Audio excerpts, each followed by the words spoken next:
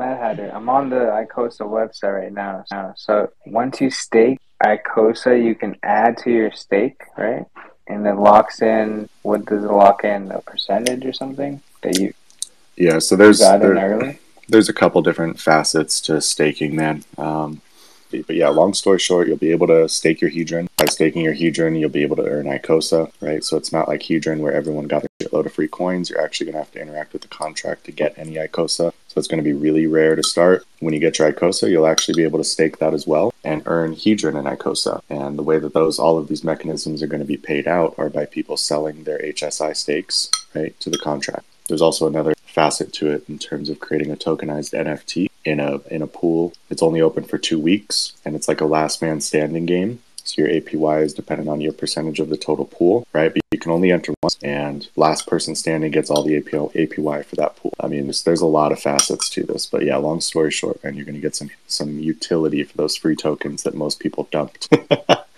so it's pretty cool. Hey, and um, Mad Hatter, um, so the adding to the stake part, what's um, how does that work? Yeah, it's pretty cool, man. So like the way that I understand it, that Alex looked at it was, okay, we have this mechanism in Hex where you stake today and you get the absolute best T-share rate right today. It's going to be better today than it was tomorrow. What's the downside to that? Well, you can only get today's T-share rate today, right? Um, so what staking through Icosa is going to allow you to do is one stake per address, but you can continually add more Hedron, Hedron, and or Icosa into those stakes, right? And when you started that stake in the pool, has a measure of um, how much your APY or your return is going to be, right? So if you're continually adding to it, think about it like you're in hex terms, you're continually getting the absolute best T-share rate that you ever could have gotten. So it's a, it's a much different way of looking at it, which is, I mean, the game theory is it's still blowing my mind, right? It's it's top tier. It's difficult to understand. Probably a very small subset of even hexagons are going to fully wrap their mind around it in the next week, um, but they need to if they have Hedron, because what else the fuck are you going to do with it? You can sit on it. Price will go up eventually, right? But just like with Hex, if you stake it, why not be earning more tokens along the way? Um, so you have basically 40 days, 40 days to figure this shit out, people. Essentially, what it's looking to do is solve the endless dump problem. right? so when you look at something like the incentive token you're going to get when Pulse Chain launches, if that token doesn't have any utility, it's an endless dump type token. You get it for free and you can just constantly dump it, right? So, how do you give something like Hedron that up to this point has seemed to be an endless dump token utility? Well, you allow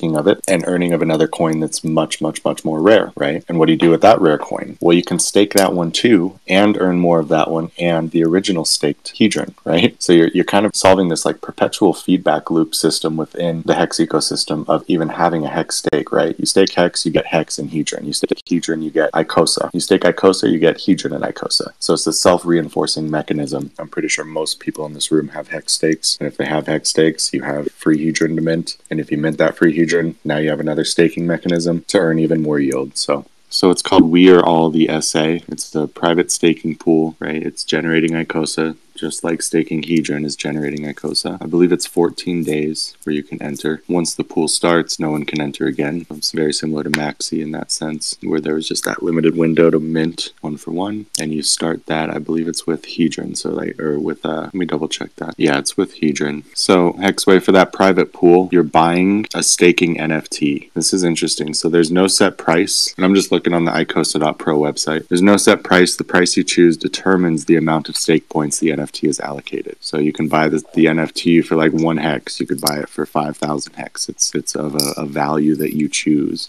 but ultimately that value is going to term, determine your yield in the pool relative to all others that also bought the staking NFT and how much they paid, right? And their percentage of the value. So that's really fucking unique. Otherwise, you can just stake your Hedron, right, and earn ICOSA. Um, there are minimum stake lengths too, so I think it's 30 days is the minimum. So you have a lot of different options here. So the NFT does not have a set price. You just put in what you, as much as you can. Whatever, yeah, whatever you want. But it's, okay, so let's say let's say like you, there's two people. You put in one hex, right, and another person puts in 99 hex. So there's 100 total hex, right? The yield in that pool is going to look like 99% of the yield going to the person that put in 99 hex, right, and 1% of the yield of the pool going to you. So it's kind of a game theory mechanic in terms in terms of what do you think it's worth? It fluctuates wildly. So definitely be careful with something like that. You know, you'd probably want to assess what big players are doing if you have a way to do that um, to see what they're valuing those NFTs at for their portion of the yield in that private pool. Okay, thank you. And we could keep adding to that pool, or It's uh, it's actually only open for I think it's 14 days for that private pool. If you stake your hedron, you get one stake per wallet address, and you can continually add to that specific stake. Or if you have five addresses, you can continually add to all of those if you wanted. So a lot of different ways to play it. great. Thanks, man. Yeah, man, it's like the staking golden triangle. It's this self-reinforcing perpetual loop of staking and shifting. Yeah, this is big brain stuff right here, man. This this is like the advanced stage of staking. you know, if you look at it. Yeah, y'all don't realize in this room right now, but y'all are literally the pioneers of cryptocurrency staking, right? Like people are going to talk about what Hex did, what Hedron did, if Hycosa works the way that it's intended, what Icosa did five or ten years from now, right? You're going to be the new cypherpunks, more or less, of, of cryptocurrency and staking in particular. But man, that is so cool now that you're able to, you know, you, you choose to actually sell your stake. I mean, that is so damn cool. Before you couldn't do that. Now Hedron gives you the ability to do that, and you can even borrow. You know, well, not borrow, but you know, advance uh, the Hedron on it, whatever. You know, it's just amazing, absolutely amazing. Yeah, it's a it's a long game that he's playing. I mean, you know, Bullish recommended uh, Crypto Sloth's channel, and when he did that interview, and I heard 20 trillion Hedron had been sold on the market, but it's deceptive because it's two years worth of minting plus many 10x bonuses on top of that. Right, Hedron's it's a lot more rare than it seems right now. And when it comes to selling these HSIs back to the contract, I mean, it's fascinating. The contract is, is literally going to borrow all of the borrowable Hedron against that, not pay it back, let it go to liquidation, right? And then as Hedron is is used to bid on that liquidated stake, it's burning Hedron, so you're kickstarting that um, deflationary aspect that Hedron has to it, while simultaneously rewarding all of the stakers with the Hedron from the borrowed, right, HSI. Like it's, I mean, the ins and outs of this. Sorry, Bullish. I know, I know you're probably trying to speak. I'm still wrapping my head around this too, man. But it's it's insane, brother. No, no, no, no. Everything you're saying was spot on. Um, yeah, it's gonna it's gonna be crazy what, what's about to happen, and uh, and I know there's a lot of whales right now who are salty as Fuck 'em, man. Oh, If they sold all their Hedron, man, they deserve not Yeah. to have it. They can't even buy their positions back. No, they can't. You know, good for them. they, they got they got what they wanted, right? I mean, you take an opportunity. This is a long term play, and shit. Now look at her. Hey, I know I stacked. I wasn't letting that opportunity go, man. I know I stacked. I remember the, the first Telegram um, audio chat we had about Hedron, and we always knew that Alex was going to come out with some type of staking mechanism. And we always knew that, you know, we were being patient that this was going to be a long term play. But as you can see, like, you know, the whales they actually dump and, you know, the other guys, they're like, oh, shit, you know, I get this shit for free. Oh, it's overinflated, this and that. Like, y'all short sighted.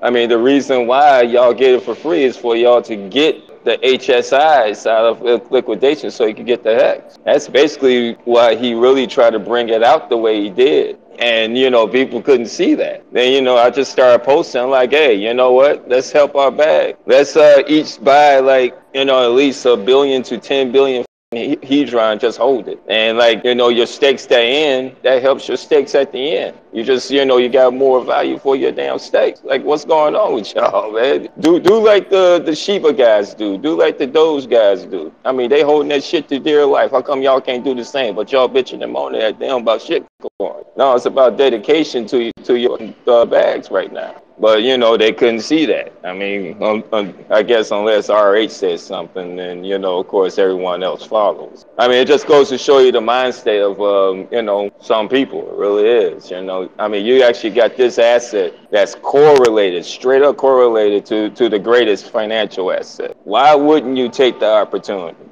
I also think uh, we have to say uh, a lot and give a lot of props to Alex because uh, man, that dude is awesome. And like just hearing some of the stuff he's working on is like, you know, based on some of the stuff he told us yesterday, he could have bought a Lambo if he wanted. No, he's buying, he's building data centers and like that, just to like crunch up more numbers, like better the community. I'm like, look at this guy. You know what I mean? Like, shout out to Alex. Yeah, you're right. I mean, thank God it actually took his time to even develop something like this. Yeah, like I, I, I was pocket watching a little bit, and I was all right. Based on what he was saying, he, he, you know, in the construction and stuff like that. This is not even including hardware. We can just assume he probably spent between the two warehouses and rehabbing them construction at least three hundred grand, not including whatever data servers and stuff like that. Could have easily bought himself a luxury car. You know what I mean? Like be flossing out like some of these other people do when they get their their bags. He's like, nope, I'm gonna reinvest it.